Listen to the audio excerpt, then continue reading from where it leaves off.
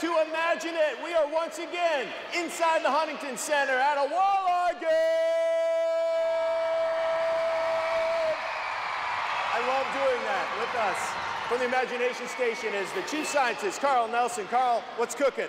We've got liquid nitrogen. It is 320 degrees below zero. So it's always changing from a liquid to a gas. That's your favorite stuff. Over here, we have Dan Clements. He has some liquid nitrogen and a bottle that is going to be filled with a little bit of water, and he's going to pour liquid nitrogen on top of it. Turns out that liquid nitrogen is less dense than water. So watch what happens over here at the end of the arena. He's going to pour some nitrogen in, and then he's going to flip the bottle over. The nitrogen's going to expand, it's shoot the water out, and launch the bottle into the air. Now, if you missed that, on the other side of the arena, we have Sloan Eberly Mann, who is doing the same thing. She's pouring liquid nitrogen into that bottle. She's going to invert it, and when the nitrogen expands, Whoa! Catch that bottle. takes off like a rocket. You get to keep that bottle. That bottle's yours. It is. Okay, but we can do something better. Okay.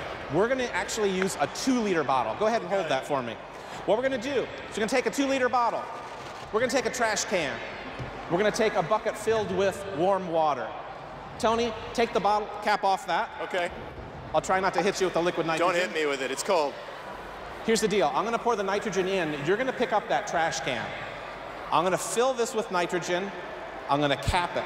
The nitrogen is going to expand, build up over 300 psi of pressure inside the bottle. The bottle's going to burst, but the bottle's going to safely burst inside this five gallon bucket.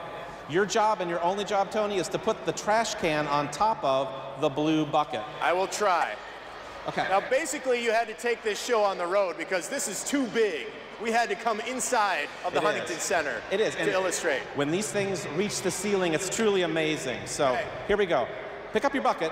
Get ready. All in the name of science, ladies and gentlemen. We're going to cap this really tight, drop it in there. You're going to put the bucket on top. Did I do it? You did fine. Okay, good. Now we're going to listen for the countdown Three, in, no, five. five,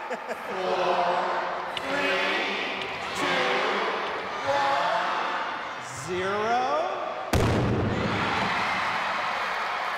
Look out. you get to keep that bucket. It's yours. All right, get over here. All right, that was amazing, wasn't it? That thing nearly hit the ceiling. Should we do it again? Let's do it again. Should we do it two times? Let's do three, Three times. Let's do three buckets. These guys down here are going to do the same thing. Tony, grab this bucket. We're going to put it right in the middle.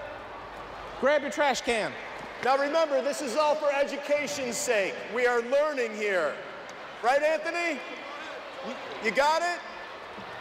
Okay, we, we actually are learning. This is really cool because this gas is actually vaporizing. This liquid nitrogen is expanding almost 800 times in volume. And a lot of times when we do this demonstration, people will say, fill the entire container up. It'll be a bigger explosion. Yeah, Not probably. really.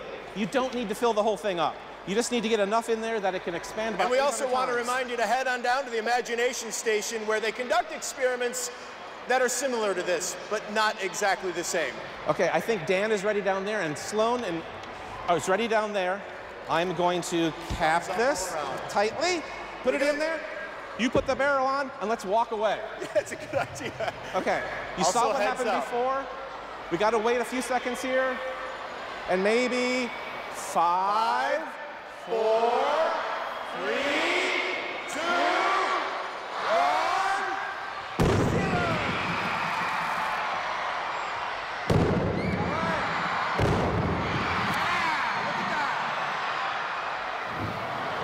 right. success. All right. That's it. Go to the Imagination Station and go